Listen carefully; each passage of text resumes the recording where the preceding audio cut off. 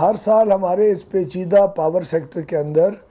जो नेपरा है, वो कीमतों का तयन करता है हर तीन महीने के लिए क्यू टी ए की मद में और हर महीने के लिए फ्यूल एडजस्टमेंट जो चार्जेस हैं उसकी मद में।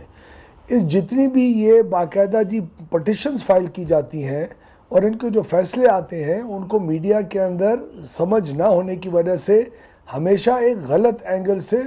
प्रोजेक्ट किया जाता है कि मुसलसल इजाफा हो रहा है।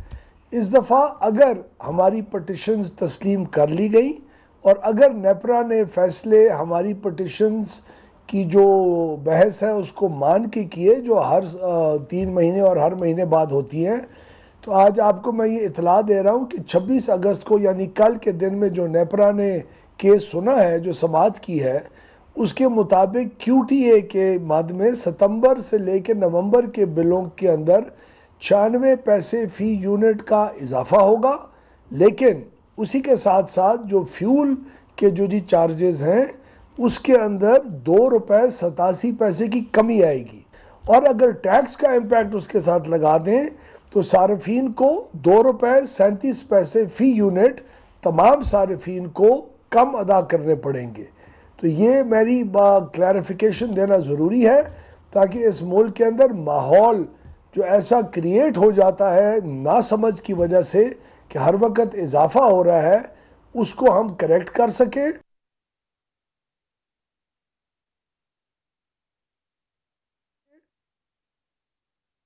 बसमीम ये मेरी आज की गुफ्तु करने का मकसद ये है कि हर साल हमारे इस पेचीदा पावर सेक्टर के अंदर जो नेपरा है, वो कीमतों का तयन करता है हर तीन महीने के लिए क्यू टी ए की मद में और हर महीने के लिए फ्यूल एडजस्टमेंट जो चार्जेस हैं उसकी मद में। इस जितनी भी ये बाकायदा जी पटिशन्स फ़ाइल की जाती हैं और इनके जो फैसले आते हैं, उनको मीडिया के अंदर समझ ना होने की वजह से हमेशा एक गलत एंगल से प्रोजेक्ट किया जाता है कि मुसलसल इजाफा हो रहा है। इस दफ़ा अगर हमारी पटिशन्स तस्लीम कर ली गई और अगर नेपरा ने फैसले, हमारी पटिशन्स की जो बहस है उसको मान के किए, जो हर तीन महीने और हर महीने बाद होती हैं। तो आज आपको मैं ये इतला दे रहा हूँ कि 26 अगस्त को, यानी कल के दिन में जो नेपरा ने केस सुना है, जो समात की है,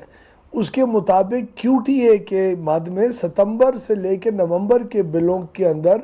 छियानवे पैसे फ़ी यूनिट का इजाफा होगा। लेकिन उसी के साथ साथ जो फ्यूल के जो जी चार्जेस हैं उसके अंदर दो रुपये सतासी पैसे की कमी आएगी। और अगर टैक्स का इम्पैक्ट उसके साथ लगा दें तो सार्फिन को दो रुपये सैंतीस पैसे फ़ी यूनिट तमाम सार्फिन को कम अदा करने पड़ेंगे। तो ये मेरी क्लैरिफिकेशन देना ज़रूरी है, ताकि इस मुल्क के अंदर माहौल जो ऐसा क्रिएट हो जाता है ना समझ की वजह से कि हर वक्त इजाफा हो रहा है, उसको हम करेक्ट कर सकें। रहीम ये मेरी आज की गुफ्तु करने का मकसद ये है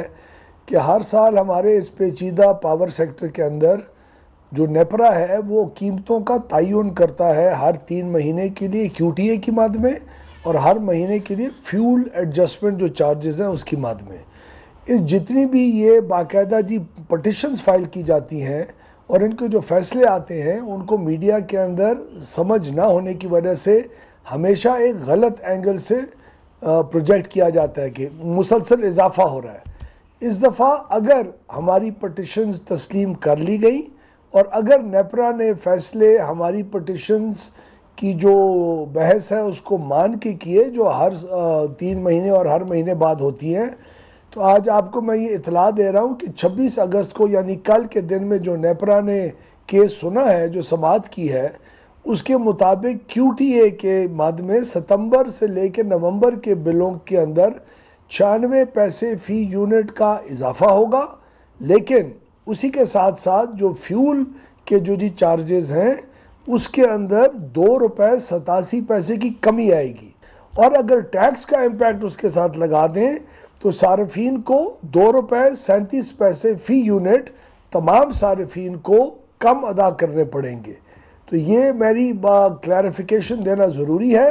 ताकि इस मुल्क के अंदर माहौल जो ऐसा क्रिएट हो जाता है ना समझ की वजह से कि हर वक्त इजाफा हो रहा है, उसको हम करेक्ट कर सकें।